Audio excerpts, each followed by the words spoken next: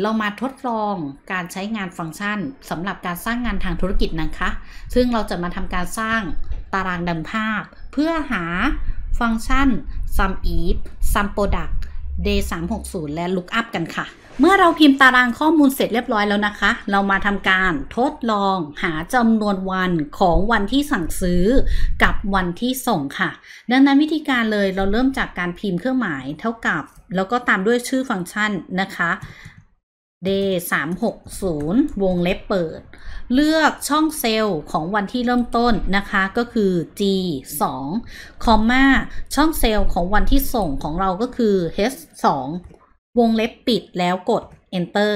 เราก็จะได้จำนวนวันระหว่างวันที่ 1 กับวันที่ 2 ออกมาคือ 1 วันค่ะทำการคัดลอกสูตรลงมาได้เลยนะคะ ก็จะได้จำนวนวันของสินค้าตัวอื่นๆขึ้นมาค่ะ ตัวถัดมาก็คือเราจะทำการหาราคาส่งนะคะ ว่า EMS เนี่ยจะส่งเท่าไหร่ มีค่าส่งเท่าไหร่นะคะ ดังนั้นวิธีการเลยเราจะใช้เท่ากับ lookup ค่ะ เป็นฟังก์ชันที่ใช้ในการค้นหานะคะ เลือกตัว J 2 ก็คือคำที่ต้องการค้นหานะคะ ตามด้วยเครื่องหมายคอมมาไปเลือกช่วงที่จะใช้ในการค้นหาของเรานะคะ ก็คือในส่วนของการขนส่งเป็นแบบธรรมดา EMS หรือ Curly นะคะ ตามด้วยเครื่องหมายคอมมาแล้วราคาส่ง ตรงนี้เป็นช่วงที่เราต้องการนะคะ ก็คือ G11 ถึง G13 จะให้แสดงผลออกมานะคะ แล้วใส่วงเล็บปิดทำการกด enter ค่ะ เราจะได้ว่า ถ้าขนส่งเป็น EMS จะมีราคาค่าส่งก็คือ 45 บาท เมื่อเราทำการคัดลอกสูตรลงมานะคะ ตอนนี้เป็น EMS ยังถูกต้องอยู่ แต่ถ้าเราลองคลิกเข้าไปดู เราจะเห็นว่าช่วงข้อมูลของเราตรงนี้เนี่ย เลื่อนลงมานะคะ จาก F11 ถึง F13 กลายเป็น F12 ถึง F14 ซึ่งตรงนี้เนี่ย เราจะต้องทำการแก้ช่วงข้อมูลใหม่นะคะ ไม่งั้นข้อมูล ในบรรทัดท้ายๆ ก็จะผิดพลาดได้เยอะเลยค่ะ แม้แต่ช่วง F เราต้องแก้ช่วง G ด้วยนะคะ ให้เป็น G11 ถึง G13 ก่อนแล้วค่อยกด Enter ข้อมูลก็จะถูกต้องแล้วค่ะ แต่ในกรณีนี้เนี่ยถ้ามีปริมาณข้อมูลค่อนข้างเยอะ มานั่งแก้ทั้งบรรทัดเนี่ยค่อนข้างมาก ดังนั้นวิธีการหนึ่งคือเราใช้ลักษณะของการกด F4 เข้าไปเพื่อล็อกเซลล์หรือการใช้เครื่องหมายดอลลาร์นะคะ พิมพ์ใส่เข้าไประหว่าง ตรงคอลัมน์กับแถวนะคะ ให้ล็อกแถวและคอลัมน์ไม่ให้มีการเลื่อน ดังนั้นตรงนี้เนี่ยเราทำการใส่เครื่องหมายดอลลาร์นำหน้านะคะ ทั้ง F และ 11 นะคะ F 13 นะคะ ใส่ล็อกทั้งแถว และคอลัมน์ของทุกตัวนะคะ ยกเว้นตัวแรกที่เราจะต้องการเปลี่ยนเพื่อเลื่อนนะคะ เมื่อเรียบร้อยแล้วกด enter เราก็จะได้รูปแบบที่มีการล็อกแถวล็อกคอลัมน์ขึ้นมา ดังนั้นเนี่ย ถ้าเราลองคัดลอกนะคะลงไปใหม่ แล้วมาดูนะคะในส่วนของการส่งแบบธรรมดาบรรทัดที่ 3 ของเราตรงนี้เนี่ย เราจะเห็นว่าช่อง J4 ก็คือช่องการขนส่งใน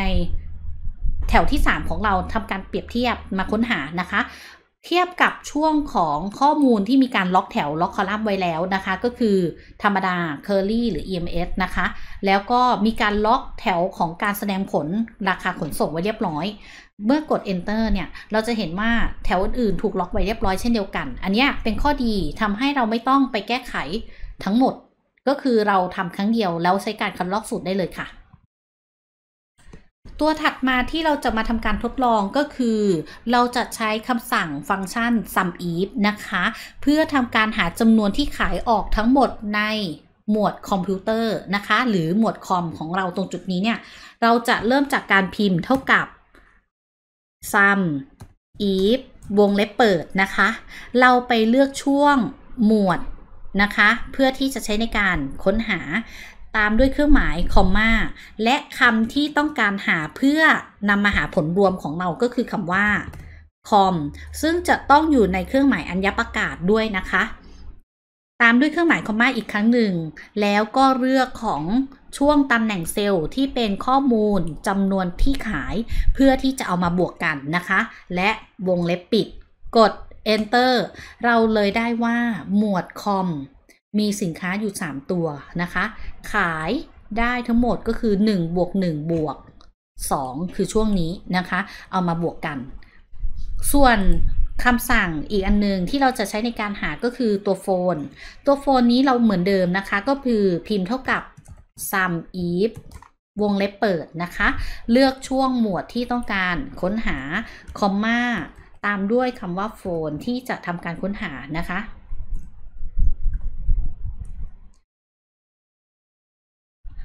ค อมมาอีกครั้งหนึ่งแล้วก็เลือกช่วงของจำนวนที่ขายเพื่อหาผลบวกออกมา ใส่วงเล็บปิดนะคะ แล้วกด enter เราก็จะได้ว่าจำนวนของโฟนที่ถูกขายออกไปคือ3บวก3บวก0เท่ากับ 6 ค่ะคำสั่งสุดท้ายที่เราจะมาทดลองกันก็คือคำสั่ง sum product นะคะ เป็นคำสั่งที่เราจะใช้ในการหาผลรวมของราคาสินค้า กับจำนวนที่ขายไปทั้งหมดว่าคูณกันแล้วได้ผลรวมออกมาเท่าไหร่นะคะ ดังนั้นตัวนี้เริ่มจากการพิมพ์เท่ากับ sum product นะคะ วงเล็บเปิด ขั้นแรกเลยคือเราเลือกราคาสินค้าก่อน เป็นช่วงที่เราจะเอามาคูณกับจำนวนที่ขายนะคะ ดังนั้นพอเราเลือกช่วงราคาสินค้าเสร็จกดคอมมา มาเลือกจำนวนที่ขายนะคะ เพื่อที่จะทำการคูณกันและบวกกันว่า ตอนนี้สินค้าเราขายไปได้เท่าไหร่นะคะ ใส่วงเล็บปิดแล้วกด enter เราก็จะได้ว่าราคา 14,000 คูณกับ 1 บวกกับ 16,000 คูณกับ 1 นะคะ บวกกับ 21,000 คูณ 2 ทำไปจนถึงช่องเซลล์สุดท้ายที่เราเลือกนะคะ ได้ผลรวมออกมาก็คือ 192,000 บาทค่ะ เราจะเห็นว่ารูปแบบการใช้งานตรงส่วนของ Excel เรื่องฟังก์ชันทางธุรกิจ ยังเอาฟังก์ชัน sum max min average เอามาประยุกต์ใช้กันได้อยู่นะคะ เท่านี้แหละค่ะสำหรับการใช้งานไม่ยากเลยใช่ไหมคะ แล้วเจอกันใหม่นะคะ สวัสดีค่ะ